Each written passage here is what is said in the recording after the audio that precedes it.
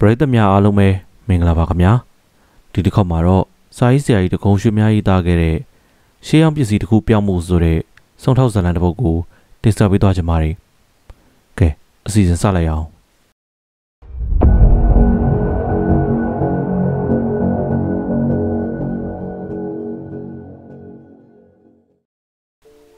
ဦးထင်ကျော်ကသတင်းစာဖတ်ရမှာအခြားသူများနဲ့မတူပါဘူး။သူဖတ်လို့တဲ့သတင်းကိုတော့နှစ်ခေါက်သုံးခေါက်ဖတ်ပြီး လူအမိအိမ်နဘတ်လမ်းနဘတ်နဲ့ဟိုတယ်ကားနဘတ်များအောင်တခါတည်းရန်အလို့ရနေတတ်ပြီးမဖတ်လို့တဲ့သတင်းများကိုတော့လှည့်ဆောင်လို့တော့မကြည့်တတ်ပါဘူး။ဒီလိုဖတ်ရှုပြီးတဲ့နောက်အသုံးကျမဲ့အရေးကြီးတဲ့သတင်းများကိုပထမတော့ခဲတဲ့အနီးအပြားနဲ့မှတ်သားပြီးတဲ့နောက်ညနေဆောင်မှာကတ်ကြီးနဲ့ညှက်ယူပြီးဖိုင်တွဲမှာထည့်ပါတယ်။ဦးထင်ကျော်ဖတ်လို့ရှိတဲ့သတင်းများမှာနိုင်ငံရေးနဲ့ပတ်သက်ပြီးတကယ်ကိုအရေးကြီးတဲ့သတင်းများရာဇဝတ်မှုကြီးများဖြစ်ပေါ်လာတဲ့ထူးဆန်းတဲ့သတင်းများဖြစ်ပါတယ်။ သူမဖတ်တဲ့သတင်းများမှာတော့လင်းကွာမရောက်ကွာသတင်းများလက်ထပ်ခြင်းကျေးဇူးတင်ခြင်းတာရေးနာရေးစသည်လိုဖြစ်ပါတယ်။အဲဒီကားတုန်းကသူရိယနဲ့မြန်မာလင်းသတင်းစာများသာရှိပြီးအင်္ဂလိပ်စာတတ်သူများကတော့ရန်ကုန်ဂဇက်သတင်းစာကိုဖတ်ကြပါတယ်။ဒီချိန်တုန်းကဦးတင်ကျော်ဟာသတင်းစာဖတ်ရမှကျွန်တော်ဘက်ကိုလှည့်ပြီးဒီလိုကိုတင်မရဲ့ကျုပ်ရဲ့ဝါသနာကအကြောင်းအရာတစ်ခုအဖြစ်အပျက်တစ်ခုကိုသိချင်တယ်ဆိုရင်နိုင်နိုင်ချွတ်ချွတ်အသေးချာတက်တက်အပ်အပ်သိရမှကြိုက်တယ်။ အခုသတင်းစာတွေမှာပါတယ်လို့အခုပေါ်လာလိုက်အခုပျောက်သွားလိုက်ဆိုတာမျိုးမကြိုက်ဘူး။ဒါကြောင့်ကျုပ်လိုချင်တဲ့သတင်းလောက်ဖတ်ပြီးတော့မဆိုင်တဲ့သတင်းတွေဆိုရင်ကျုပ်ကဘယ်တော့မှမဖတ်ဘူးလို့ပြောပါတယ်။ဦးထင်ကျော်ကအဲ့ဒီနေ့မနက်ထုတ်တဲ့မြန်မာလင်းသတင်းစာကနေရာကိုနဘေးနာမှခဲတဲ့အနီးနဲ့ရေးမှတ်ပြီးရနောက်ဟော်ရီယာသတင်းကိုကြည်စံပြိုးကိုတင်မောင်အထူးဆန်းပစ္စည်းစုဆောင်းတဲ့လူတယောက်အိမ်ကိုဖောက်ပြီးတော့တခိုးခိုးသွားတယ်ဆိုပါလားဗျဒီလိုပြောကသတင်းစာကိုလှမ်းပေးရကြောင်း ကျွန်တော်လည်းခဲတဲ့အနီးနဲ့မှတ်ထားတဲ့သတင်းကိုဖတ်လျက်ရှိပါတယ်ဒီခါဦးထင်ကျော်ဆက်လက်ပြီးဒီမဲပြကိုတင်မောင်ရဲ့တခိုးခိုးတယ်ဆိုတာငွေဦးလိုချင်လို့ခိုးတာမဟုတ်ဘူးရွှေငွေလက်ဝတ်လက်စားဆိုရင်လည်းဟုတ်တာပေါ့လေတခိုးများအဝတ်စားတော့မှတက်တဲ့သမျှရှောင်ကြတယ်ဘာလို့လဲဆိုတော့ဒီအဝတ်ထဲရစပြီးတော့ပေါ်ချင်ပေါ်တတ်တာ哦နောက်ဖေးတမ်းမှာထမိန်အောင်လိုက်ပြီးတော့ရုပ်နေတဲ့ဘိန်းစားတခိုးမျိုးတော့မစိုးလို့ဘူးပေါ့ဗျာကျုပ်ကကြီးကြီးကျယ်ကျယ်ခိုးတဲ့တခိုးကြီးကိုပြောတာပါ အခုသတင်းစာတွေမှာပါတဲ့သတင်းကအထူးဆန်းအလှပပစ္စည်းတွေကိုစူးစောင်းတဲ့သူ့ရဲ့အိမ်ကအထူးဆန်းပစ္စည်းတချို့ကိုခိုးသွားတယ်ဆိုတာကတော့အတော်လေးကိုစိတ်ဝင်စားစရာကောင်းတယ်ဘာဖြစ်လို့လဲဆိုတော့ဥပမာပကြီးကားချက်တစ်ချက်ပဲထားပါဦးဒီပစ္စည်းတွေကရွှေထဲငွေထဲတွေကိုအရေးကြိုးလို့ရတာမျိုးမှမဟုတ်ပဲသူ့ရဲ့အတိုင်းရောက်မှသူ့ရဲ့ရာဇဝင်နဲ့သူ့ရဲ့လက်ရာကိုတံမိုးထထတဲ့သူတွေကမှတကယ်တံမိုးပေးပြီးတော့ဝယ်တာမဟုတ်လားဗျမှန်တာပေါ့ဦးထင်ကျော်ရဲ့ တခုတော့ရှိတာပေါ့ဗျာခိုးတဲ့တခုကဒီပစ္စည်းတွေကိုဘယ်မှာသွားပြီးတော့ထုတ်ရမယ်ဆိုတာသိရင်လဲခိုးနိုင်တာပေါ့လေဒီလိုအစမ်းပြပစ္စည်းယူတဲ့သူတွေကလည်းရှိသေးတာ哦ဘာကြသေးလို့လဲမင်းတုံမင်းကြီးတောက်တဲ့ငွေဖလားကို1500ပေးပြီးတော့လူတယောက်ကဝယ်သွားတာအဲ့ဒါမျိုးတွေပေါ့ဗျာနားထောင်စမ်းပြို့ကိုတင်မောင်တကားခောက်တာမဟုတ်လားလို့ပြောပါရီတကားခောက်တန်ကြရတာကြောင့်ကျွန်တော်လည်းတကားကိုတွားရောက်ပြီးတော့ဖွင့်ပေးလေရာဥဖတ်ကြီးဆိုသူနဲ့အခြားဧည့်သည်တယောက်တို့ကအဲခန်းတွဲဝင်လာကြပါရီ ဥဖတ်ကြီးဆိုသူမှာရခင်တစ်ချိန်တုန်းကဦးထင်ကျော်အမှုငါးဘူးသူဖြစ်လို့ကောင်းစွာမှတ်မိပေမဲ့လည်းဘေးကပါလာတဲ့သစိမ်းကိုတော့ကျွန်တော်မမြင်ဘူးပါဘူးဧည့်သည်နှစ်ယောက်တို့ကကျွန်တော်တို့ညွှန်ပြတဲ့ကလထိုင်များမှာထိုင်ချပြီးတဲ့နောက်ဥဖတ်ကြီးကကျွန်တော်တို့ကိုနှုတ်ခွန်းဆက်စကားပြောကြပြီးအရေးကြီးတဲ့အမှုတွေတယောက်ကိုဦးထင်ကျော်ထံသို့ခေါ်ဆောင်လာကြောင်းသူ့မိတ်ဆွေရဲ့အမိမှာဦးမင်းအောင်ဖြစ်ပြီးတော့ယမန်နေ့ညကလူစိုးရဲ့လက်ထက်မှာအထူးဆန်းပစ္စည်းများတိုက်ခိုက်ယူငင်သွားခြင်းခံရတဲ့ဘာလန်းမှဦးမင်းအောင်ရဲ့ညီဖြစ်ကြောင်း ဒီကိစ္စနဲ့ပတ်သက်ပြီးတော့ဦးထင်ကျော်ရဲ့ထင်မြင်ချက်ကိုရယူဖို့နဲ့အကူအညီတောင်းဖို့အတွက်ခေါ်ခဲ့ခြင်းဖြစ်ကြောင်းပြောဆိုကာဦးမင်းအောင်နဲ့ဦးထင်ကျော်တို့ကိုမိတ်ဆက်ပေးပါတယ်ဦးမင်းအောင်ဆိုတဲ့သူကအသက်40ကျော်50အတွင်းများရှိပြီဖြစ်ပြီးအတော်တန်ခံညာတည်ကြည်တဲ့ရုပ်လက္ခဏာရှိသူတစ်ယောက်ဖြစ်တော်လဲတစုံတရာစိတ်နှလုံးထိခိုက်နေပြီးတကယ်တော့ကနာမငြင်းနေအောင်ရှိတဲ့အမူအရာလည်းဖြစ်နေပါ रे လက်ထဲမှာသတင်းစာစက်ကူများနဲ့ထုတ်ထားတဲ့အထုပ်တစ်ထုပ်ကိုလည်းကင်ထားပါ रे အဲခန်းတွဲဝင်လာခြင်းမှာစောင်းထားတဲ့အုတ်ထုပ်ကိုချုပ်ပြီးတော့ ကလထိုင်လို့တလုံးပေါ်မှာလည်းတင်ထားပါ रे ဦးထင်ကျော်ကတော့တည်ငြိမ်တဲ့လေတန်းနဲ့ကျွန်တော်တို့လည်းအခုပဲသတင်းစာဖတ်ပြီးတော့ဒီအကြောင်းကိုပြောနေကြပါသေးတယ်အခုလိုလူချင်းတွေ့ရတာဝမ်းသာပါတယ်ဦးမင်းအောင်ကျွန်တော်တို့ဘယ်လိုများကူညီလို့ရမလဲဆိုတာအမိန့်ရှိပါအောင်လို့မေးတော့ဦးမင်းအောင်ကအင်မတန်ဆိုးရတဲ့ကိစ္စပါခင်ဗျာငွေဆိုရင်လည်းဘလောက်ပဲပါသွားစေဦးတော့ကိစ္စမရှိပါဘူးအခုတော့လို့ပြောတော့ဦးဖတ်ကြီးကဝင်ရောက်ပြီးခဲ့ပါ ဒီလောက်လဲစိတ်ပြတ်မနေပါနဲ့ဦးဦးမင်းအောင်ရဲ့စိတ်ကိုတင်းထားစမ်းပါဗျာဟော်ရီယာဦးထင်ကျော်တို့ကူညီရင်နေရာကျပါလိမ့်မယ်ခခမရဲ့အဖြစ်ပြက်ကိုသာပြောစမ်းမအောင်လို့မေးတော့ဦးမင်းတော်ကဆက်ပြောပါတယ်ကုညီပါဦးခမကျွန်တော်တော့ယူရပါလိမ့်မယ်ကျွန်တော်ပိုင်တဲ့ပစ္စည်းဆိုရင်လည်းဒီလောက်အရေးမကြီးလာပါဘူးအခုတော့ကျွန်တော်အကိုရဲ့ပစ္စည်းပါခမကျွန်တော်ရဲ့ခေါင်းပေါ်မှာတာဝန်ကျပြီးတော့သူပြန်လာရင်ဘယ်လောက်များမြည်တွန်းပြောလိုက်မယ်ဆိုတာကိုတွေးကြည့်လို့တော့မဝင်ပါဘူးဒီတော့ကုညီမယ်ဆိုရင်လည်းအခုပဲလောက်ကြပါ ဘယ်ဟိုပဲလိုက်ရလိုက်ရဘယ်လောက်ပဲငွေကုန်ကုန်အရေးမကြီးပါဘူးခမကျွန်တော်နိုင်ပါတယ်လို့ပြောတယ်ဒီခါဦးထင်ကျော်ကကျွန်တော်တို့တစ်ချက်လမ်းကြည့်ပြီးအမှုရဲ့အဖြစ်အပျက်ကိုအမိန့်ရှိပါအောင်ဦးမင်းနောင်လို့မေးပါတယ်ဘာလန်ထဲမှာပစ္စည်းအစမ်းတွေရောက်တဲ့ဆိုင်ရှင်ဦးမင်းအောင်တော့ကြောက်ဘူးကောင်းကြောက်ဘူးပါလိမ့်မယ်လို့ပြောတော့ဦးထင်ကျော်ကခေါင်းကိုညင်သာစွာညှိလိုက်ပါတယ်ကောင်းပါပြီဗျာကျွန်တော်ကဦးမင်းအောင်ရဲ့ညီပါကျွန်တော်ရဲ့အကိုဦးမင်းအောင်ကတာမရမရှိဘူးသူ့ရဲ့ဝါသနာက ရှေးရောက်ပစ္စည်းတွေကိုထူးထူးဆန်းဆန်းအလှပပစ္စည်းတွေစုဆောင်းတတ်တယ်ဒါနဲ့အဲ့ဒီဝါသနာနဲ့ပဲပစ္စည်းရှာမယ်ဆိုပြီးတော့အောက်ထပ်မှာကျူရီယိုဆိုင်ကလေးဖွင့်ထားပြီးအပေါ်ထပ်မှာနေပါတယ်ခင်ဗျာအခန်းကတိတ်ပြီးတော့မကျဲလာပေမဲ့အတော်လေးပဲစုံပါတယ်ကြောက်တံပရမအမျိုးမျိုးရွှေထဲငွေထဲရှေးခက်ကနေအခုချိန်ထိတင်္ဂါမျိုးမျိုးလက်နက်အမျိုးမျိုးတတဝါမျိုးစုံရဲ့အရေးအစွဲငါးမျိုးမျိုးရဲ့အယိုးခရုရောက်သွားဂုံမျိုးမျိုးရှေးမြတ်မှာဘရင်များရဲ့လက်ရည်မှု ပရပိုက်ပေမှုအင်မတန်ရှားပါတဲ့အစာအုပ်စာတန်းရှေးဟောင်းပကြီးကားတွေနဲ့စင်စွယ်ပပုရှုံလုံးရုပ်ထုတွေကစပြီးတော့ထူးထူးဆန်းဆန်းရှားရှားပပပစ္စည်းမှန်သမျှအားလုံးလိုလိုရှိတာကြီးပါပဲ။ "तू ကဒီပစ္စည်းတွေကိုရောင်းတော့လဲရောင်းဝယ်တော့လဲဝယ်ပေါ့ခင်ဗျာ။ဒီရှေးဟောင်းပစ္စည်းတွေကိုရှာဖွေစုဆောင်းရဖန်များတော့ဘုဟုတုတာလည်းအင်မတန်ပြည့်စုံပါတယ်။ပစ္စည်းတစ်ခုဟာရာဇဝင်သမိုင်းတစ်ခုရှိပါတယ်။သူ့မှာရှိတဲ့ပစ္စည်းတွေအားလုံးဟာလည်းမူလပင်ကိုအစစ်မှန်နေကြီးပါပဲ။ အတုဆိုလို့တစ်ခုမှမရှိပါဘူး။သူ့စီကိုသွားပြီးတော့အတုကိုလည်းညာရောက်လို့မရဘူးဒီဘက်ပိုင်းမှာဒီလောက်တောင်ဘ ഹു တုတနဲ့ပြည့်စုံပြီးတော့ကျွမ်းကျင်ပါတယ်ဒါကြောင့်လည်းနိုင်ငံခြားသားတွေတော့မှဦးမင်းအောင်ရဲ့ဆိုင်ကပစ္စည်းဆိုရင်စိတ်ချယုံကြည်ပါတယ်လို့ပြောပြီးဦးမင်းအောင်လည်းမျက်နှာချွေးများကိုလက်ကင်မွားနဲ့တုပ်လိုက်ပြီးတော့စက်ကပြောပြပါတယ်။ "तू ကမိမမရှိပါဘူး။သူ့ရဲ့ပစ္စည်းတွေနဲ့အချိန်ကုန်ပြီးတော့ပျော်နေတတ်တဲ့လူတစ်ယောက်ပါပဲခင်ဗျာ။သူ့အတွက်စစ်သားလူထွက်တစ်ယောက်ကိုလည်းအကူအညီဖြစ်ငားထားတယ်။ အဲဒီလူကပစ္စည်းတွေကိုတုတ်တင်ရှင်းလင်းပြီးတော့ဆိုင်ကိုလည်းကြည့်ရတယ်။ညဆိုရင်လည်းဒရဝမ်အဖြစ်စောင့်ရတယ်။သူ့ရဲ့မိမကတော့အိမ်တောင်ထိပ်ပြီးအကိုကိုချက်ပြုတ်ကျွေးမွေးရတယ်ခင်ဗျ။ဒါပေမဲ့ तू ကဟိုတယ်မှာပဲစားတာများပါတယ်။ဒါနဲ့မနေ့မနက်ကမနက်စောစောရထားနဲ့ပြည်မျိုးကိုလိုက်သွားပါတယ်ခင်ဗျာ။ပြည်မျိုးကတဆင့်တရက်မျိုးမှာစင်စွယ်နဲ့ထုထားတဲ့အယုံနှစ်ခုရှိတယ်။တရင်ကြလို့လိုက်သွားတာပဲ။ဒီလိုခရီးထွက်တဲ့အခါအိမ်ကိုစိတ်မချလို့ကျွန်တော်ကိုစောင့်ရှောက်ဖို့အတွက်ထားခဲ့ပါတယ်။ ဒါနဲ့ကျွန်တော်လည်းအဲ့ရလိမ့်နဲ့အဝေးကလေးအ ਨੇ ချင်းကိုယူပြီးတော့သူ့ရဲ့အခန်းမှာလာအိတ်တာဟုတ်ဗျညရောက်တဲ့အခါကျတော့ဟိုတယ်သွားဘီလီရက်ကုံသွားကလပ်သွားနဲ့ခါတိုင်းအိမ်ပြန်ရင်7နာရီမကျော်မချင်းအိမ်ပြန်တဲ့လူမဟုတ်ဘူးအဲ့ဒါကျွန်တော်ရဲ့ဝါသနာပဲဒါပေမဲ့ဒီကနေ့ညမှာတော့ငါရဲ့အကိုအိမ်မှာစောင့်ရှောက်အိပ်ဖို့ရှိတယ်ဆိုတဲ့စိတ်နဲ့7နာရီမထိုးခင်ကလေးကလပ်ကပြန်လာတော့အကိုရဲ့အိမ်ခန်းကပွင့်ပြီးတော့အခန်းထဲမှာပလိတ်တွေရောက်နေအောင်တွေ့တယ်ဖြစ်ချင်တော့ကျွန်တော်အပြင်ကိုသွားနေတဲ့2နာရီလောက်အချိန်ကလေးမှာ အခုလိုဖြစ်ရတာပါပဲ။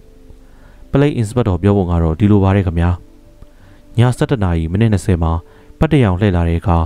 မြင်းရထားတစ်စီးကခပ်ဖြည်းဖြည်းကားလန်တိုင်းမောင်းနေနေတာကိုမြင်ရတယ်တဲ့ဒါနဲ့နောက်10မိနစ်ကြာလို့နောက်တစ်ခေါက်ပြန်လာတော့လဲမြင်းရထားဟိုဘက်ကပြန်လာပြီးခပ်ဖြည်းဖြည်းမောင်းနေပြန်တဲ့မြင်းရထားကလည်းဒီမြင်းရထားပဲတဲ့ဒါနဲ့ပဲမသိငါလို့ရထားနှစ်ဘက်ကိုမှတ်ထားလိုက်တယ်အဲ့ဒီမြင်းရထားရဲ့နှစ်ဘက်က136ပါတယ်ခင်ဗျာဒီနောက် 17နာရီမိနစ်40မှာပလိတ်သားတစ်ယောက်ပတ်တစ်ယောက်လှည့်ပြီးလာမှာဦးမင်းအောင်ရဲ့ဆိုင်ကန်းနဲ့မျက်နှာချင်းဆိုင်လမ်းရဲ့ဟိုဘက်မှာမြင်းရထားတစ်စီးရက်နေတာကိုမြင်ရတဲ့ခင်ဗျာဒီအချိန်မှာလူတစ်ယောက်ကဦးမင်းအောင်ရဲ့တိုက်ထဲကနေလက်ဆွဲတရေအိတ်နဲ့တူတဲ့ပစ္စည်းတစ်ခုကိုကန်ကန်ထွက်လာပြီးမြင်းရထားပေါ်ကိုတက်ရထားမောင်းသမားကမြင်းကိုကြာပွင့်နေကြိုက်အပြင်းမဲ့မောင်းနေသွားပါလေရောတယ်ခင်ဗျာဒီတော့မှပလိတ်သားလည်းအံ့အားသိမ့်ပြီးတော့ကြည်နေရကနေတတိယလာပြီးတော့မြင်းရထားနာကိုပြေးလိုက်ပါဇက်ကနေဝီစီမှုတ် ကုံတယ်လန်းအတိုင်းရှေ့ဘက်ကိုမောင်းပြေးရကနေ32လမ်းကိုချိုးဝင်ပြီးမျက်ခြေပြတ်သွားတာပါပဲဒါပေမဲ့မြင်းရထားနှစ်ဘက်ကိုတော့လက်နှိပ်တံမီနဲ့နှစ်ခါသုံးခါကြည့်လိုက်ရလို့မြင်ရပြီးကောင်းကောင်းမှတ်မိလိုက်တဲ့မြင်းရထားတစ်ဘက်ကလည်း136ပဲတဲ့ခင်ဗျာမြင်းရထားပေါ်တက်သွားတဲ့လူကတော့ဘောင်းမီဝဲထားပြီးခေါင်းမှာအုတ်ထုတ်တော့မပါဘူးလူပုံစံကတော့ပူပူနဲ့တုတ်တုတ်ခိုင်ခိုင်ဆိုပဲဗျဒါနဲ့သူလည်းမြင်းရထားကိုမျက်စိပြတ်သွားပြီးတဲ့နောက်ပြန်ပြေးလာပြီးတော့အင်စပက်တော်ဦးအောင်မောင်လည်းဝီစီတန်ချလို့ ဘာလန်ထိတ်ကိုပြေးလာတာနဲ့ပန်းချန်တောင်းတာမှာလူချင်းစုံမိကြတယ်ဆိုပဲဒီတော့သူတို့လည်းကျွန်တော်ရဲ့အကိုနေတဲ့တိုက်စီကိုပြန်လာပြီးတော့မတင်ငါတာနဲ့တကားကိုအပြင်ကနေခောက်အထဲကလည်းဘာသာမှမကြားရတာနဲ့ပုံမတင်ငါဖြစ်လာပြီးနောက်ဖေးမိဖို့ပရင်ပေါက်ကိုကြိုက်ချိုးပြီးတော့အထဲကိုဝင်ကြပါရောတယ်ခင်ဗျာအထဲကိုရောက်တော့မိဖို့နဲ့ကတ်နေတဲ့အခန်းထဲကနေညီးတန်လိုလိုကြားရလို့စေထားတဲ့တကားကိုအသာတွန်းဖွင့်ဝင်ကြည့်တော့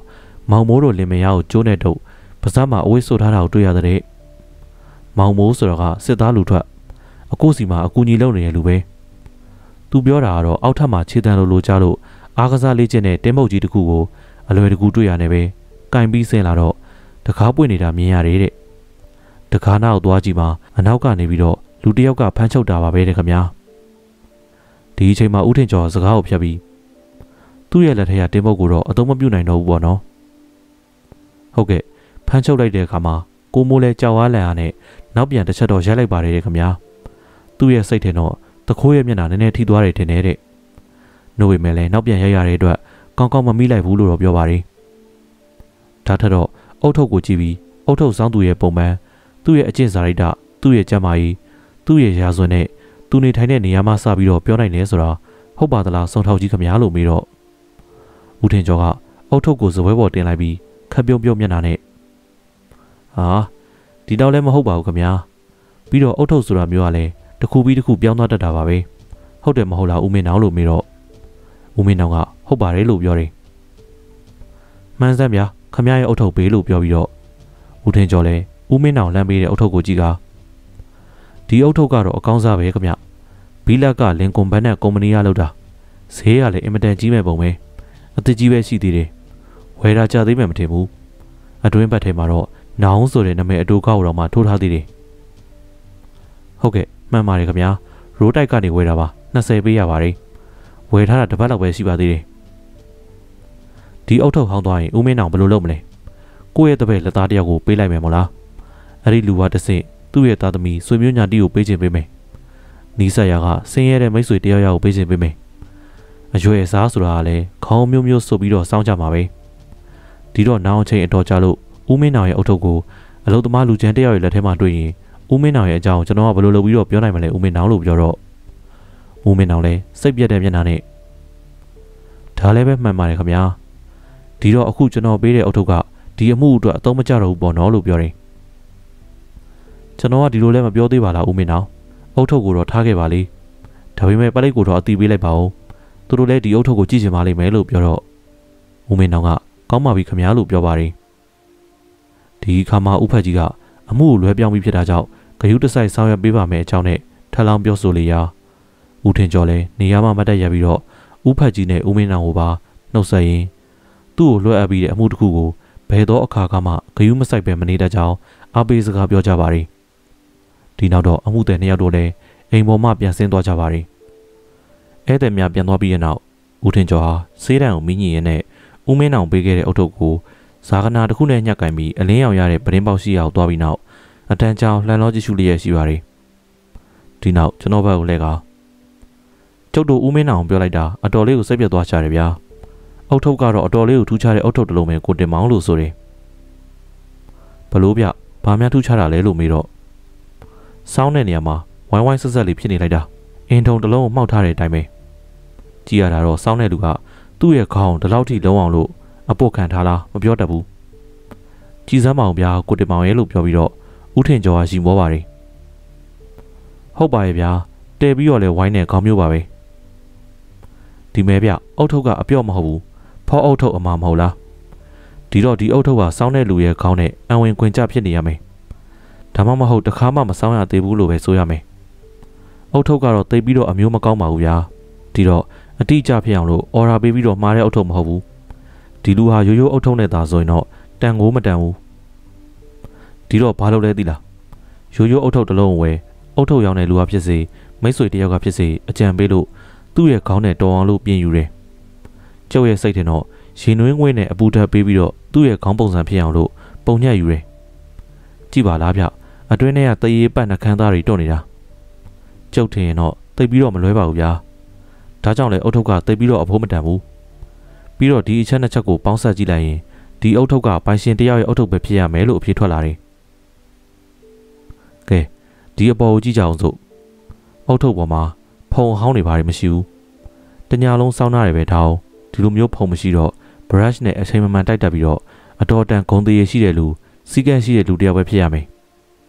ဒါပေမဲ့အလင်းရောင်ထဲမှာဟော်ရီယာမှန်ဘလူးနဲ့အသေးချာကြည့်လိုက်ရင်တော့ဘေးနှခမ်းသားပြုတ်ပြုတ်နေရမှာအဖြူမောင်ကလေးတွေကတ်နေရအောင်တွေ့ရမယ် ကြည်စမ်းမအောင်ကိုတင်မောင်လို့ပြောတော့ကျွန်တော်လည်းဥထင်ကျော်ပေးတဲ့မှန်ဘလူးကိုယူပြီးတော့ကြည့်လေရာသူပြောတဲ့အတိုင်းပဲဘေးနှခမ်းသားအပြော့ဝိုင်းပေါ်မှာအဖြူမုံကလေးမြောက်မြင်ရပါတယ်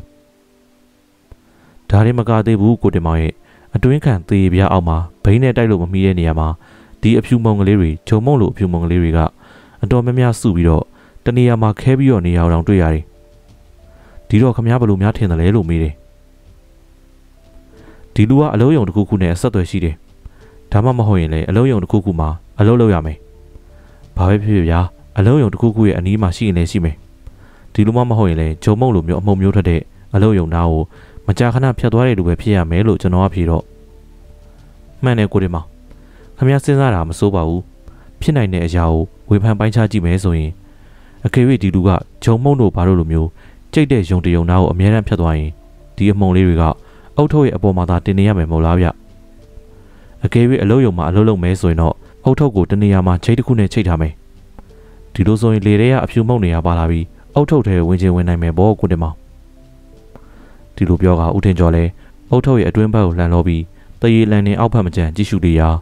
အဖြူမုံကလေးများကိုတရေနဲ့အဝေးချားထဲမှာ၎င်းချုံရိုးမြတ်မှာ၎င်းတွေ့မြင်ရပါတယ်ဟုတ်တယ်ဗျို့အတွင်းထဲမှာလည်းတွေ့ရတယ်လို့ပြောပြီးဦးထင်ကျော်ကကျွန်တော်ရဲ့လက်ထဲမှာမှန်ဘလူးကိုယူကာအုတ်ထုတ်ကိုဆက်လက်ပြီးတော့ကြည့်ရှုစစ်ဆေးပြန်ပါတယ် တခုတော့ရှိတယ်ဗျကိုတင်မောင်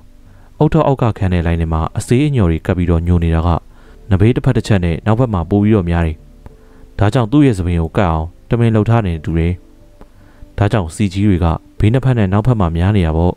။တကယ်လို့ချွေးတာထွက်မယ်ဆိုရင်နှစ်ဖူးနဲ့တက်တဲ့ရှေ့ဘက်မှာများမှာပေါ့လို့ပြောကားအုတ်ထုတ်သေးရဘက်နဲ့လိုင်းနဲ့နဘေးသားများကိုမှန်ဘလူးနဲ့ဆက်လက်ပြီးတော့ချီချူလေးရရှိပြန်ပါရီ။အလိုဟောဒီမှာအမွှေးကလေးတစ်ချောင်း ဒီမှာလဲတခုစပွဲပေါ်ဇာကနာအငယ်လေးလှမ်းလိုက်စမ်းပြကိုတင်မောင်းလို့ပြောတယ်ဦးထင်ကျော်လဲပိုးလိုက်နေနဘေးသားများမှစိုက်နေတဲ့အမွေကလေးများကိုဇာကနာနဲ့စိတ်ရှိလက်ရှိညှက်ယူပြီးတော့စက်ကူအဖြူတစ်ချက်ပေါ်မှာတင်ထားပါတယ်ဒီလိုနဲ့သပင်ရှည်ကဲ့သို့အမွေ၄၅ချောင်းခန့်ရရှိပါတယ်ဟိုဘက်ချမ်းမှာလည်းရှိသေးတယ်နော်ဦးထင်ကျော်နေပါစေကိုတင်မောင်းဒါပလိတ်အတွက်ခြံထားရအောင်မယ်သူတို့စုံထောက်ဘက်ကနေပြီးတော့ဓာတုဗေဒနီးရ စစ်ဆေးခြင်းစစ်ဆေးလေအောင်မယ်လို့ပြောတယ်စက်ကူမှာတင်ထားတဲ့အမွေးမြများကိုကျွန်တော်ကငုံကြည့်ပြီးရနောက်အမွေးလေးတွေကတဲချမ်းပါလားဗျမြင်းမွေးများလားမပြောတတ်ဘူးဟုတ်မယ်မထင်ပါဘူးကိုတင်မောင်ဒီလိုမျိုးခက်ချက်ချမ်းသပင်ပုံစံမျိုးကဒီလိုပုံတရံရှိတဲ့ခေါင်းမှာတွေ့ရတတ်တယ်ဟုတ်တယ်ဗျသပင်ကထူးထူးချက်ချက်ပဲဒီထဲကနှချောင်းကတော့အဖြူရောင်လောင်တန်းနေပြီဟုတ်တယ်ကိုတင်မောင်ကြီးကျုပ်တို့အတော်တန်တော့နေရကြပြီဒါထက်တော့ ဒီအုပ်ထုံးနဲ့တော်တဲ့ခေါင်းပုံစံတစ်ခုကျုပ်လုပ်ချင်ပါသေးတယ်ကျုပ်တို့ခတ်တော့တော့လုံးမရမယ်ဗျဒီပစ္စည်းကြောက်ရဲ့လက်ထဲမှာရှိမှန်းသိရင်ပလိတ်ကလာပြီးတော့ယူချင်ယူလေဦးမယ်လို့ပြောပါတယ်ဒီလိုနဲ့ပုံစံအကြံပြုလို့ရတဲ့အလုပ်မျိုးမှာဦးထင်ကျော်ကကျွန်တော်တို့ရဲ့ထမင်းချက်စရာမောင်ဘိုးလူအားခိုင်းစေတတ်တဲ့အတိုင်းပဲမောင်ဘိုးလူကိုခေါ်ပြီးတော့အုတ်ထုတ်ရဲ့အတွင်းဘက်အချင်းထိတ်ဝအခြေကိုတိကျစွာရရှိနိုင်စေဖို့အုတ်ထုတ်ကိုစုပ်ကတိုင်းထွာပြီးပလာစတာနဲ့လူရဲ့ဥကောင်းခုံပုံသဏ္ဍာန်ပြုလုပ်နေပါတယ် မြည်တို့မြည်ပုံပြုလုပ်ဖို့မောင်ဘိုးလူကိုညွှန်ကြားချက်များပေးပြီးတဲ့အခါဦးထင်ကျော်ကပိုးနဲ့ပြုတ်လုထားတဲ့ပေချိုးလေးကိုယူပြီးအုတ်ထုတ်ရဲ့အချင်းကိုအသေးချာတိုင်းထွာယူလျက်ရှိပါတယ်။အလေရား6လက်မနဲ့10ပုံ9ပုံလက်မအနံ6လက်မနဲ့16ပုံ2ပုံလက်မစသည်ဖြင့်ရေယိုရင်းနဲ့စက်ကူတစ်ချက်ပေါ်မှာခဲတံနဲ့တော့ချက်လျက်ရှိပါတယ်။ဒီနောက်ဆက်လက်ပြီးအောင်မဲပြမ်းမြခြင်းဟာ65.6တောင်ရပါလား။အတော်ကြီးရဲ့ခေါင်းမဲ့ပြို့ တွန်နီးကဒီလိုပြကိုတင်မောင်ဘီရိုထဲမှာရှိတဲ့ဟိုကမနှုတ်ဆက်တရစာအုပ်ကြီးလှမ်းလိုက်ဆံပြားလို့ပြောပြီးတော့ကျွန်တော်ကိုတောင်းလိုက်ရာကျွန်တော်လည်းစာအုပ်ကိုယူပြီးတော့ဦးထင်ကျော်ကိုလှမ်းပြီးတော့စာမျက်နှာတစ်ခုကိုလည်းညှိုးထောက်လျက်တွတ်တဲ့နီးကတော့အကျယ်ဆုံးအနံကိုအကျယ်ဆုံးအလျားအတိုင်းထွာနေစားတရားနဲ့မြောက်ရှားတဲ့ရလက်က80သို့မဟုတ်80အထက်ကိုကြော်ရင်ဒီလိုခေါင်းမျိုးကိုဖရီစီဖက်လစ်လို့ခေါ်တဲ့ခေါင်းပုခေါင်းလုံးမျိုးလို့ခေါ်တယ်အကယ်၍80ထက်နေရင်တော့ဒီလိုခေါင်းမျိုးကို ဒိုင်လီကိုဖက်လင်ဆိုတဲ့ခေါင်းမျိုးလို့ခေါ်တယ်အခုအုတ်ထုတ်ပိုင်ရှင်ကတော့ခေါင်းပူခေါင်းလုံးမျိုးထဲမှာတောင်အကြီးစားမျိုးဖြစ်တယ်ဗျခမည်းဟာတဲလဲသေးချာနေပါလားအေးလေကျုပ်တို့အလုပ်ကသေချာမှတန်ခါကြတာကိုဗျဒီလိုနဲ့နောက်ထပ်မိနစ်40ခန့်များကြာတော့ဦးထင်ကျော်တက်ခွဲကမ်းမှထွက်လာပြီးမောင်ဖိုးလူမှာသူစေခိုင်းကြတဲ့အတိုင်းအုတ်ထုတ်ရဲ့အတိုင်းထွာရပလတ်စတာပုံသဏ္ဍာန်ပြုလုပ်ပြီးစီးပြီဖြစ်ကြောင်းပြောပြပါရယ် ဒီခဏမှာပဲအပြစ်မှတကားခောက်တန်ကြားရတာကြောင့်ကျွန်တော်ကဖွင့်ပေးလိုက်ရာပလိတ်သားတစ်ယောက်ဝင်လာပြီးတဲ့နောက်ဦးထင်ကျော်ကိုရိုသေပေးပြီးစာတစ်စောင်ပေးပါရယ်စာကတော့အင်စပက်တော်ဦးအောင်ဘူးထံမှစာဖြစ်ပြီးဦးမင်းအောင်ပေးခဲ့တဲ့အုတ်ထုပ်ကိုပလိတ်သားကလေးရဲ့လက်ထဲသို့ပေးရလိုက်ဖို့ဖြစ်ပါရယ်ဦးထင်ကျော်ကလည်းကျွန်တော်ဘက်သို့မျက်လုံးတစ်ဖက်ကိုမတိမတာမှိတ်ပြလိုက်ပြီးတဲ့နောက်အုတ်ထုပ်ကိုရခင်ရစက်ကူလေးများနဲ့ပတ်ထုတ်ပြီးတဲ့နောက်ပလိတ်သားရဲ့လက်ထဲကိုထည့်ပေးလိုက်ပါရယ်ဒီနောက်တော့ကျွန်တော်လည်းဦးထင်ကျော်ကခေါ်တာကြောင့် သူ့ရဲ့အလုတ်ခန်းထဲသို့လိုက်သွားလေရာနှစ်ဖူးနှစ်ထင်နောက်စိတ်မှစပြီးတော့စောက်ဝိုင်းတစ်ခုကဲ့သို့အပေါ်ပိုင်းမှာဝိုင်းဆက်လျက်ရှိတဲ့လူရဲ့ဦးကောင်းပုံတံတန်တစ်ခုတွေ့ရပါတယ်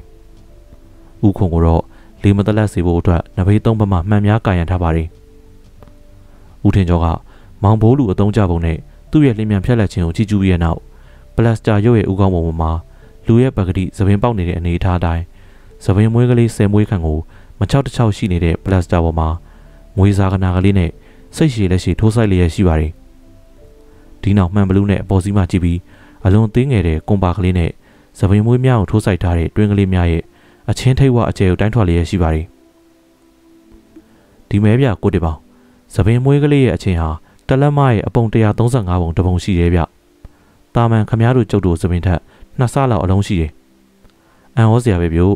။ဒါပေမဲ့လူတယောက်ရဲ့သပင်ဆိုတာကတော့ထင်ရှားနေပါတယ်လို့ပြောတယ်။ ဦးထင်ကျော်ရဲ့ကျုပ်ဖြင့်ခမားပြောတဲ့အတိုင်းထွာကိုနားမလည်နိုင်ပါဘူးဗျာ။ဒါအခရာတင်ချပါပဲဗျာ။တိုင်းထွာတဲ့ကရိယာရဲ့မျက်စိအမြင်ရဲ့အလေးအကျင့်ရဲ့ပေါင်းဆက်လိုက်ရင်တိတ်ပြီးတော့မခက်လာပါဘူး။သူ့ရဲ့ဖော်မူလာရှိတာပါပဲ။ကဲလာပြို့အဖြူမုံကလေးတွေကိုကျုပ်ပြအောင်မယ်လို့ပြောကဦးထင်ကျော်လည်းမှန်ကာထားတဲ့အခြားစပွဲတစ်လုံးပေါ်ကိုခေါ်သွားပြီးတော့ဖန်ပြုံတစ်ခုထဲမှာကပ်နေတဲ့အဖြူမုံကလေးများကိုမှန်ဘလူးနဲ့ကြည့်ဖို့ပြောပါတယ်။နည်းနည်းအလုံးကြီးတဲ့အမုံကလေးတွေကိုကျုပ်ကြည့်နေတယ်။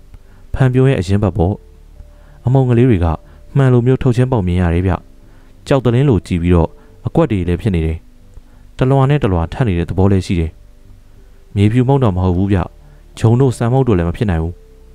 ။ဒါဆိုရင်အင်္ဂလိပ်မုံများမဖြစ်နိုင်ဘူးလား။မဖြစ်နိုင်ပါဘူးဗျာ။အင်္ဂလိပ်မုံကမှန်လိုမျိုးကြည်နေနိုင်မှာမလား။ဒါဖြစ်ရင်လက်ခွန်ပလဲလုံးမဖြစ်နိုင်ဘူးလားဟုတ်ပြီဗျို့နေရာကျလိုက်လေဗျာပလဲ ဟုတ်ပြီကိုတင်မောင်ကြီးအခုမှပဲကြုတ်စဉ်းစားလို့ရတယ်ခမရတခါတခါမှတော့ဒီလိုအချက်မျိုးကလေးတွေဝင်ပြီးတော့ထောက်ပေးတတ်တာတိတ်ပြီးတော့နေရာကျတာပဲဗျာကျုပ်သေးလွန်စားရပြီလို့ပြောတယ်အချိန်မှာတော့9:40ရှိပြီဖြစ်လို့ကျွန်တော်လည်းအလုပ်ချိန်နီးနေပြီဖြစ်တာကြောင့်ဦးထင်ကျော်ထံမှာခွင့်တောင်းပြီးအလုပ်တို့ထွက်လာခဲ့ပါတယ်အဲဒီနေ့ကကျွန်တော်လည်းအလုံးမအချိန်နောက်ကျပြီးတော့ပြန်လာလေရာ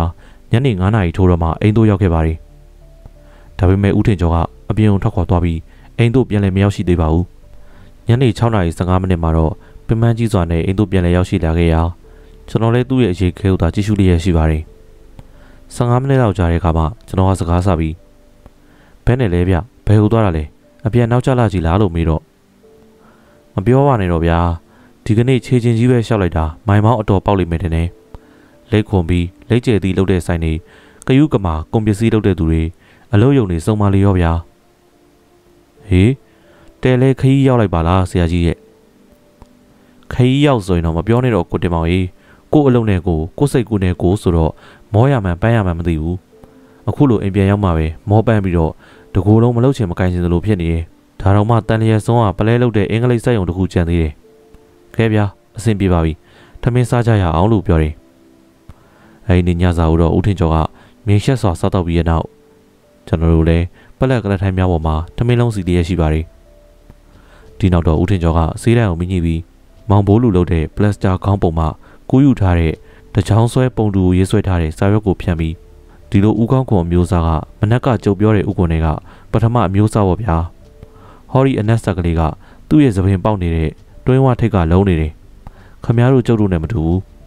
ခမည်းတော်ကျုပ်တို့သပင်ကဘဲဥပုံတန်ရှိတယ်ကဲ ဒီတော့သူ့ရဲ့ဥကောင်းခုံပုံစံရောသပင်အမျိုးအစားရောရပြီ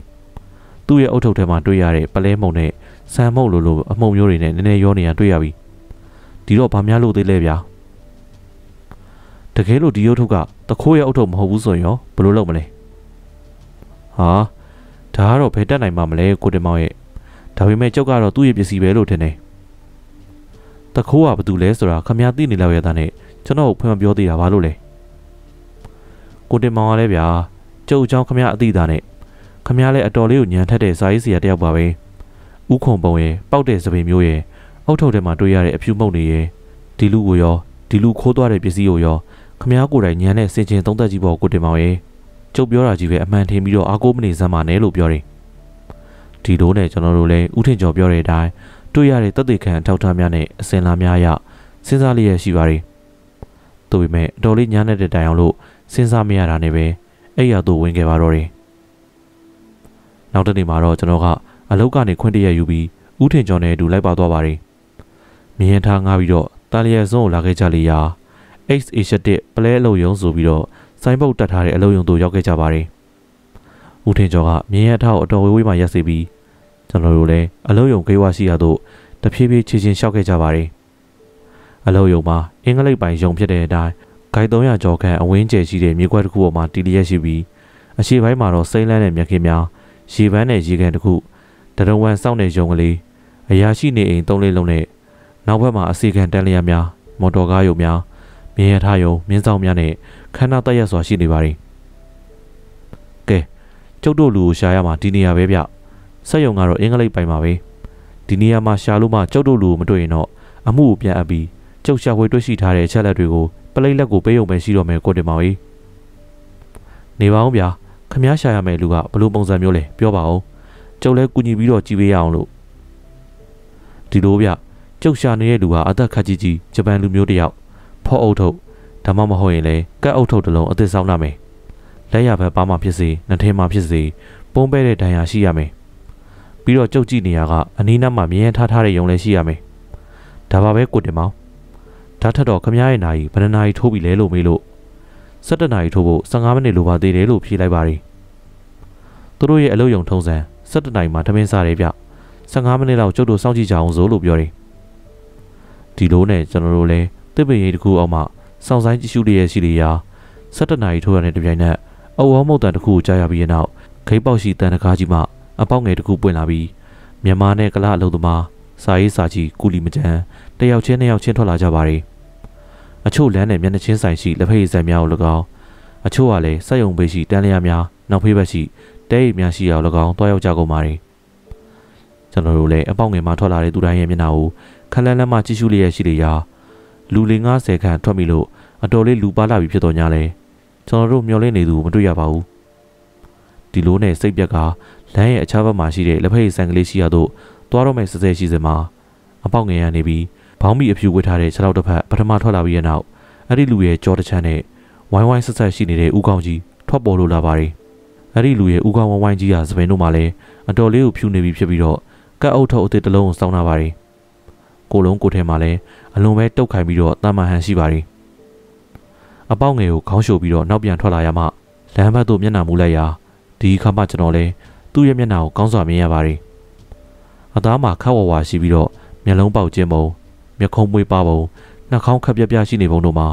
ပကတိဂျပန်လူမျိုးစစ်စစ်တယောက်ဖြစ်ကြောင်းကောင်းစွာထင်ရှားပြီးတော့လက်ရဘက်ပါးပြမှာလဲညိုမဲတဲ့အရာတစ်ခုထင်နေတာကိုကောင်းစွာမြင်တွေ့ရပါတယ်။ဒီနောက်ဂျပန်ကြီးကကျွန်တော်တို့ဘက်ကိုလှည့်လာတာကြောင့်ကျွန်တော်တို့လည်းလက်ဖက်ရည်ဆိုင်ဘက်ကိုကူးခဲ့ကြပါတယ်။ဂျပန်ကြီးကစက်ယုံရဲ့လက်ဝဲဘက်အရာရှိများရေးသားခဲ့သို့တာနာတရက်စွာဆောက်လုပ်ထားတဲ့အိမ်သုံးလုံးအနက်နံပါတ်3အိမ်ပေါ်တက်သွားတာကိုလည်းမြင်လိုက်ရပါတယ်။ဦးထင်ကျော်ဟိုမှာပြို့တက်သွားပြီဗျ။ မြင်ပါတယ်ဗျာ။ကျုပ်ရဲ့ယူဆချက်ပဲမှန်လို့လား။ဒါမှမဟုတ်အကြောင်းတိုက်ဆိုင်လို့ပဲလားတော့မပြောတတ်ဘူးပြို့။ဒီလိုပြောကကျွန်တော်တို့လည်းလက်ဖက်ရည်ဆိုင်ထဲကိုဝင်ခဲ့ကြပြီးတော့ကြောင်တစ်ခုမှထိုင်ကလက်ဖက်ရည်နှစ်ခွက်ကိုမာထားပြီးတဲ့နောက်ဦးထင်ကျော်ကကျွန်တော်ပေးတဲ့ secret တလိပ်ကိုမိညီလေးရရှိပါတယ်။ဒီကအခြားစပွဲမှာလူတစ်ယောက်ကဦးထင်ကျော်ထံမှာမိချက်တောင်းတာကြောင့်ဦးထင်ကျော်ကမိချက်ကိုလှမ်းပေးပြီးဟိုဘက်ကဆက်ယုံကဘာဆက်ယုံလဲလို့လှမ်းမိလိုက်ပါတယ်ဒီခါသစိမ်းက ဂျုံဆက်ယုံဗျဒီဘက်ကတော့ပလဲနဲ့ကယူကမာပစ္စည်းလုပ်တဲ့ဆက်ပါဒါအင်္ဂလိပ်ပိုင်းလားဟုတ်ပါတယ်ကယူကမာတွေကိုဘိတ်ကတင်မောနဲ့အကြီးအကျယ်တင်ပြီးတော့ပစ္စည်းအမျိုးမျိုးလုပ်ပါတယ်အုပ်ချုပ်တဲ့လူတွေကအင်္ဂလိပ်တွေပေါ့ကဲ secret တောက်ပါအောင်လို့ပြောတော့တစ်ဖက်ကလူစိမ်းက secret ကိုလမ်းယူပြီးဟုတ်ပါတယ်ဗျာဒါပေမဲ့ပုံစံထုတ်တဲ့ဘက်ကဆရာတယောက်ကတော့ဂျပန်လူမျိုးပါဒီအချိန်မှာဦးထင်ကျော်ကအရင်တော့ကကြောက်ရမိတ်ဆွေ ကိုတီးဆိုတဲ့ဂျပန်ကြီးတယောက်ဒီမှာအလုပ်လုပ်ပါတယ်ကိုတင်မောင်ခမရကိုတီကိုမှတ်မိသေးလားလို့မေးတော့ကျွန်တော်ကမကြားဟန်ပြူပြီးစီကရက်တလိပ်ကိုမိညီလေးရရှိပါတယ်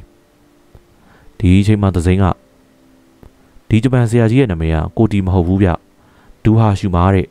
ဟိုဘက်ဆဝဲထဲမှာလည်းဂျပန်တယောက်ရှိတယ်သူ့မိတ်ဆွေပဲနာမည်ကတော့အီတူတဲ့ဟိုဂျပန်ကြီးကလည်းအချင်းကတော့ဒီဆက်မှာပဲလောက်တာပါဗျာနောက်တော့မှမန်နေဂျာနဲ့မတည့်လို့ထွက်သွားတယ် အဲ့ဒီကောင်ကြီးကတော့ကိုလီကောင်းလုပ်တယ်မြင်းရထားမောင်းတယ်ခမတွေ့ကြရအလုပ်လုပ်နေရပဲတခါတလေတော့မြင်းရထားကိုသူကိုယ်တိုင်မောင်းတယ်သူတို့ဂျပန်တွေကအလုံးမရွေးဘူးဗျဘလို့အလုံးမျိုးမစိုးလုပ်တာပဲကျုပ်တို့ဗမာတွေလိုမဟုတ်ဘူးဆိုကဦးထင်ကျော်လဲအဲ့ဒီလူတောက်တဲ့လက်ဖက်ရည်ဘိုးပါပေးလိုက်တာကြောင့်တခဏကြာမှအဲ့ဒီလူကလည်းကျွန်တော်တို့ကိုနှုတ်ဆက်ပြီးတော့စက်ယုံဘက်စီကိုထွက်ခွာသွားပါတယ်ဒီနောက်တော့ဦးထင်ကျော်လည်းကျွန်တော်ကိုဂျုံဆက်ရှိတဲ့ဘက်ကိုခေါ်သွားလိုက်ရာလမ်းကြားတစ်ခုကိုရောက်တဲ့အခါမှာတော့ စက်ယုံရဲ့နောက်ဘက်မှကိုယ်ပတ်ပြီးတော့သွားကြပါတယ်နောက်ဝေးဘက်မှာတော့အိမ်မြင့်မြင့်တစ်ဆောင်နဲ့တစ်ထက်အိမ်ပူကလေးများတဲတန်းလျားများရှိပါတယ်အိမ်မြင့်ရဲ့နဘေးမှာတော့မြင်းဆောင်တစ်ခုနဲ့ကိုတောင်ကလေးတွေမှာရထားလုံးတစ်ခုလည်းထားရှိပါတယ်ကျွန်တော်တို့ကရထားလုံးရှိတဲ့ကိုတောင်ကလေးရဲ့နောက်ဘက်ကိုလှည့်ပြီးတော့သွားလိုက်ရာခလန်းလန်းမှာရှိတဲ့အိမ်မြင့်ပေါ်မှာမျက်နှာတစ်ခုပေါ်ထွက်လာပြီးတဲ့နောက်အင်္ဂလိပ်ဘာသာနဲ့ဒီမှာခမရတို့နှစ်ယောက်ဘာလုပ်နေရလဲလို့မေးတော့ဦးထင်ကျော်ကလည်းပြန်လည်ပြီးတော့အင်္ဂလိပ်ဘာသာနဲ့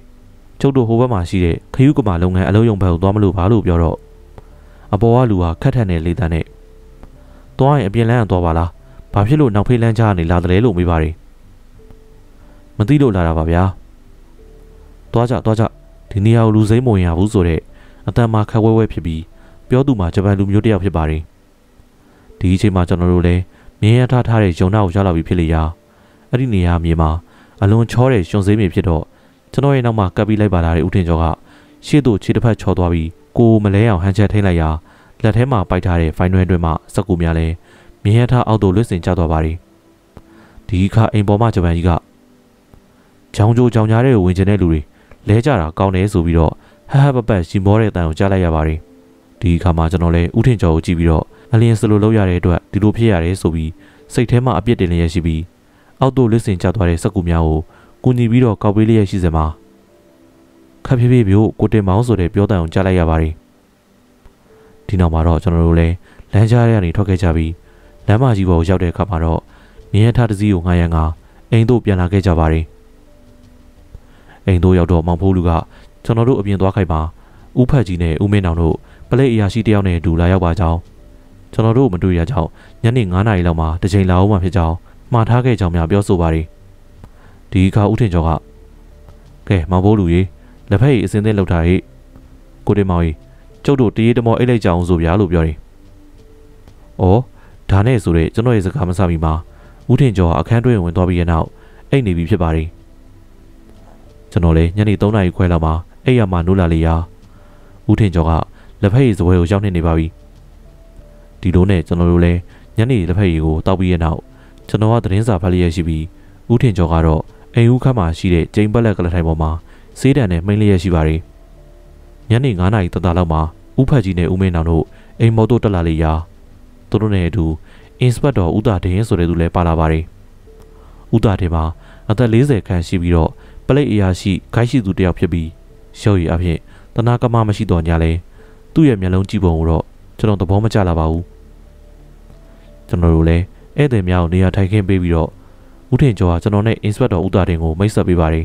ဒီအခါမှာကျွန်တော်ကတွေ့ရတာဝမ်းမြောက်ကြောင်းနဲ့ပြန်လည်ပြောဆိုရပါတယ်ဦးဖတ်ကြီးကဦးထင်ကျော်ကိုအစင်အမြဲကြည်ညိုတဲ့လက္ခဏာနဲ့ကြည့်ရှုနေတတ်ပြီးဦးမင်းအောင်ကတော့ရခင်ပထမတစ်ခေါက်ကလာစဉ်ရထက်စိတ်ရှုပ်တဲ့လက္ခဏာနဲ့မကြာခဏဦးကောင်းအောင်ရန်ကနှကန်းကြိုက်လျက်ရှိပါတယ်အင်စပက်တော်ဦးတာတင်ကဘဲနဲ့လဲပြဦးထင်ကျော်ဦးမင်းအောင်အတွက်စိတ်ချမ်းသာစရာသတင်းကလေးများရပြီလားလို့မေးပါတယ်ဒီအခါဦးမင်းအောင်ကလည်း စိတ်ပြက်လာတဲ့အမူအရာနဲ့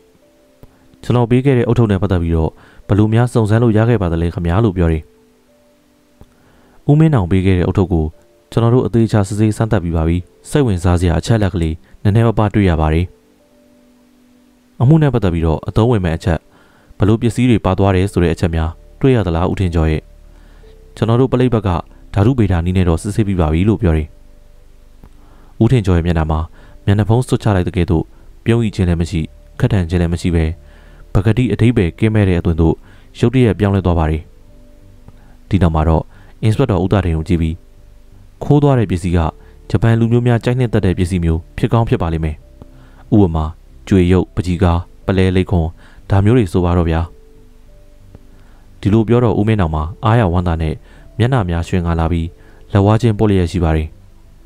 အင်စပက်တော်ဦးသားတွေမှာတော့ ရခင်တုန်းကခက်ရွှင်ရွှင်ပြောင်ပြောင်မျက်နှာထားရှိနေရမှဦးထင်ကျော်ရဲ့စကားကိုကြားရတဲ့အခါမျက်နှာများပြတ်သွားပြီးတဲ့နောက်ဘလို့လုပ်ပြီးတော့အတက်တည်လဲခင်ဗျာကျွန်တော်တို့တော့မှအခုပဲတရဲမျိုးကတန်ကြိုးရမှဒီပစ္စည်းတွေပါသွားတာကိုသိရတယ်ဦးမင်းအောင်စီကရိုက်လိုက်တဲ့တန်ကြိုးရတာနိုင်ဝက်လောက်ပဲရှိပါဦးမယ်ဗျာလို့ပြောတယ်ဒီကဦးမင်းအောင်က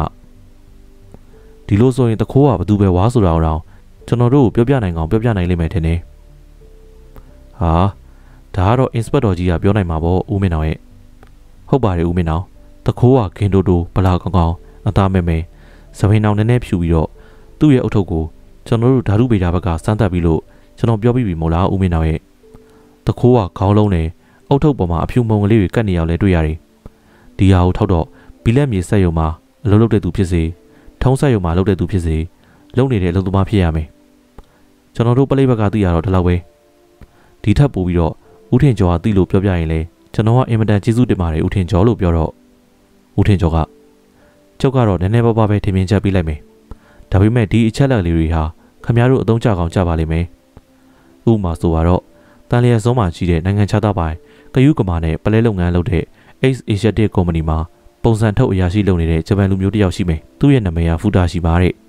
အဲ့ဒီလူစီကိုတွားပြီးတော့သူ့ရဲ့ခေါင်းအုပ်ထုပ်နဲ့တိုင်းကြည့်ရင်တော်ကောင်းတော်ပါလိမ့်မယ် ဒီလူကအရာရှိတန်လျာအိမ်တစ်ပတ်သုံးပါနေတယ်လို့ပြောတော့ Play Inspector ဦးသားတင်လည်းမှတ်စုစာအုပ်ကိုအိတ်ထဲမှာကြပြကြရထုတ်ပြီးဦးထင်ကျော်ရဲ့စကားများကိုအမြန်ရေးသားမှတ်လျက်ရှိပါတယ်ဦးထင်ကျော်ကတော့အေးဆေးတဲ့လေးတန်းနဲ့ဆက်လက်ပြီးနောက်ပြီးတော့အဲ့ဒီဆက်ရုံရဲ့ဟိုဘက်ကကက်လျက်ရှိတဲ့ဂျုံဆက်တစ်ခုရှိတယ်ဂျုံဆက်ရဲ့နောက်ဘေးကနှစ်ထပ်အိမ်မြင့်မြင့်တစ်လုံးမှာအီကုဆိုတဲ့ဂျပန်တယောက်ရှိတယ်ဒီဂျပန်ကမြင်ရထားထောင်နေသူကိုယ်တိုင်တော့မှတစ်ခါတလေမောင်းနေ သူ့ရဲ့အိမ်ရှိရာမျက်စောင်းထိုးကိုတောင်ကလေးမှာရထားလုံးတစ်စီးရှိလေရဲ့အဲ့ဒီရထားလုံးရဲ့နောက်ကျောဘက်မှာရှိတဲ့နှစ်ဘက်က289ဒါပေမဲ့နှစ်ဘက်ရေးထားတဲ့ကြေးပြားကတောင်လေးတောင်မှာအပေါက်ကလေး၄ပေါက်ရှိတယ်နှစ်ဘက်လိန်ကြေးပြားထပ်ပြီးတော့တက်ချင်တက်ဖို့အတွက်လှုပ်ထားရတဲ့တူတယ်အဲ့ဒီမြင်ရထားပိုင်ရှင်အီကုဆိုတဲ့ဂျပန်ကအခင်းဖြစ်ပွားတဲ့ည7နာရီခွဲလောက်ကဘယ်မှာရှိလဲဆိုတာကိုခင်ဗျားတို့စစ်ကြည့်ပါလေဒီလိုပြောတဲ့အခါမှာအင်စပက်တော်ဦးသားတင်လည်း လောဘတကြီးဆက်လက်ရေးသားလျက်ရှိပါတယ်ဦးမင်းအောင်ကတော့ဝမ်းသာအားရနေရာမှခုံထားလိုက်ပြီးတဲ့နောက်ကျေးဇူးတင်ပါတယ်ဦးထင်ကျော်ခင်ဗျာကဲအင်စပက်တော်မင်းကျွန်တော်တို့အခုပဲသွားဖမ်းမှာဖြစ်မယ်အချိန်ကုန်ခန်းလို့မဖြစ်ဘူးဗျို့သွားကြပါစို့ခင်ဗျာလို့ပြောကပါဇက်မတွတ်တွတ်ရေရွပြီးအင်စပက်တော်ဦးသားတင်ကိုအတင်းမဲ့ဆွဲခေါ်ပြီးတော့ဧည့်သည်များလည်းချက်ချင်းပဲအိမ်မောကနေဆင်းသွားကြပါတယ်ဧည့်သည်များဆင်းသွားပြီးတဲ့နောက်ဦးထင်ကျော်ကစေးတံကိုမိညီက ပက်လက်ကလထိုင်မော်တို့ကိုပြလွဲလိုက်ပြီးတဲ့နောက်ဟေးအခုမှပဲအေးစစ်စစ်စေးတံတောက်ရတော့တယ်ဗျာဒီကိုတာဒင်းဆိုတဲ့လူကဘလို့ကိစ္စမျိုးဖြစ်ဖြစ်သူကတိအောင်ကတက်အောင်ကတိတ်လုတ်ချင်တယ်ကိုတင်မောင်ရဲ့လုံးယုံနေမကဘူးလူတစ်ဖက်သားကိုမိမလို့မိမရငေါလိုက်တိတ်လိုက်ချင်းသေးတယ်ဒါကြောင့်လေကျုပ်ကအမြင်ကက်ကက်ရှိရနဲ့စကားကိုကောင်းအောင်ရှင်းမပြလိုက်တော့ဘူးအတူချုပ်ပဲပြောလိုက်တော့တယ်လို့ဆိုတယ်သူတို့မပြောရင်တော့မှကျွန်တော်တို့တော့ပြောပါအောင်ဗျာလို့မေးတဲ့အခါဦးထင်ကျော်က ဒီလိုကိုတင်မောင်ရဲ့ကျုပ်ယူတဲ့အယူဆတွေကလွယ်လွယ်လေးပါပဲမခဲရင်လာပါဘူးပြီးတော့တချို့ဟာလည်းကျုပ်ရဲ့ညံစွမ်းကြီးပဲမဟုတ်ပါဘူးအန်ဒရိုပိုလိုဂျီလို့ခေါ်တဲ့မနှုတ်တရှတရကျန်တဲ့ရနေယူတာပါဗျာလူဆိုတဲ့တရဝါကိုအကျဉ်းအဖြစ်၃မျိုးခွဲခြားထားတယ်လူမဲမျိုးလူဖြူမျိုးလူဝါမျိုးဆိုပြီးတော့၃မျိုးရှိတယ်လူမျိုး၃မျိုးရှိတဲ့အနက်ဥခွန်အနေအထားစပင်အနေအထားတွေကတစ်မျိုးနဲ့တစ်မျိုးမတူကြဘူးဗျလူမဲမျိုးတို့ရဲ့ဥခွန်ဟာရှည်ပြီးတော့ကျင်းမြောင်းတယ် မျက်လုံးအိမ်တီးရှိတဲ့မျက်ကွင်းကလည်းရှည်ပြီးတော့ကျင်းတယ်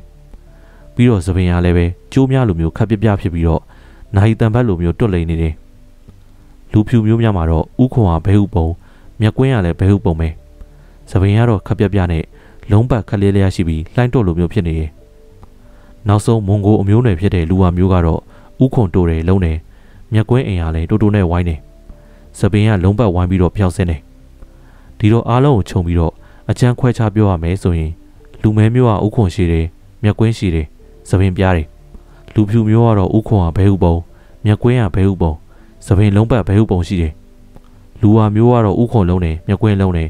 စပင်လုံးတယ်ဒါပဲပေါ့ဗျအေးလေခမည်းဟာစာနဲ့ပေနဲ့တဲပြီးတော့သိချတာပဲ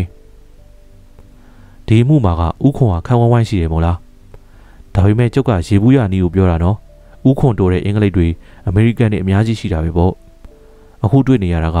ဒီဥခွန်ဝိုင်းဝိုင်းလုံးလုံးကြီးပေါ်မှာလုံးဝိုင်းနဲ့သပင်ရှိတာကိုတွေ့ရတော့ဒီလူဟာမွန်ဂိုအနွယ်တယောက်ဖြစ်ရမယ်လို့ကြုတ်တွက်တယ်ဒါတွေမကသေးဘူးသူ့ရဲ့အုတ်ထုပ်ထဲမှာတွေ့ရတဲ့ကယူးကမာမှုန့်လေးတွေနဲ့ဂျုံမုံကလေးတွေနည်းနည်းပါးပါးတွေ့ရတော့တရုတ်လူမျိုးတော်၎င်းဂျပန်လူမျိုးတော်၎င်းဖြစ်ရမယ်လို့ကြုတ်တွက်တယ်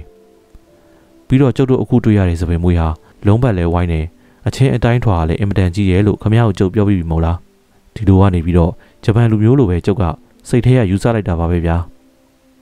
ကောင်းပါရဲ့ဦးထင်ကျော်ရဲ့ခမရရဲ့ယူဆပုံတွေကတော့တိတ်ပြီးတော့အကျိုးကြောင့်မှန်အတိတ်ပဲရှိတာပါပဲဗျာဒီလောက်လဲချီကျူးမနေစမ်းမနဲ့ကိုတင်မောင်ရဲ့လို့ပြောပြီးတော့ဦးဆန်ရှာလဲဆေးတံအောင်သာဖွာရှိုက်လျက်ရှိပါတယ်ဒီလိုနဲ့တပတ်ခန့်အကြာအထိအမှုရဲ့အကြောင်းကိုမင်းမင်းပြပြောက်ရှိနေကြရမှတခုတော့ညနေခင်းမှာကျွန်တော်ကစကားဆက်မိလို့ဦးထင်ကျော်ကိုမေးလိုက်ပါတယ်ဘလို့လဲဗျာ ခမရဲ့လူကိုဖမ်းလို့မမိရလားမိတာပေါ့ဗျာဒီအကောင်နေဘယ်ကိုပြေးနိုင်မဲလို့မှတ်လို့ဟေးလေမိရတော့ဟုတ်ပါရဲ့ဒါပေမဲ့ကိုတာဒင်းဆိုတဲ့လူကတော့ခမကိုနည်းနည်းလေးမှကျေးဇူးတင်မဲ့လူမဟုတ်ဘူးပြို့နာမည်ယူရင်တော့သူပါပဲယူပါယူပါစေဗျာကျုပ်ကနာမည်ကိုမလို့ချင်ပါဘူးကျုပ်တို့ဆောင်ရွက်ခဲ့တဲ့အတိုင်းအောင်မြင်တယ်ဆိုရင်ကျုပ်ကကျေနပ်နေပါပြီလို့ပြောတယ်ဟေးခမရကလေသူတော်ကောင်းကြီးတယောက်ပဲနော်ဦးထင်ကျော်လို့ပြောတော့ ဦးထင်ကျော်ကခက်ပြုံးပြုံးလုပ်ပြီးဒါပေါ့ဗျာကျုပ်အကြောင်းခမရလည်းအတိတာနဲ့ဘသူတိတိမတိတိဖျားတိတယ်မဟုတ်လားဗျာလို့ပြောကအားရပါရရှီမောလေးရဲ့ရှိပါတယ်ဟုတ်ကဲ့ပါခင်ဗျာအခုလိုမျိုးအားပေးနှထောင်ခဲ့ကြတဲ့အတွက်အထူးပဲကျေးဇူးတင်ရှိပါတယ်နောက်နေ့တွေမှာလည်းဇာတ်လမ်းကောင်းတွေကိုတင်ဆက်ပေးတော့မှာဖြစ်တာကြောင့် subscribe နေပြီးစောင့်မျှော်အားပေးနှထောင်ကြပါအောင်လို့ပြောကြရင်းနဲ့နှုတ်ဆက်လိုက်ပါတယ်ကျေးဇူးအများကြီးတင်ပါတယ်ခင်ဗျာ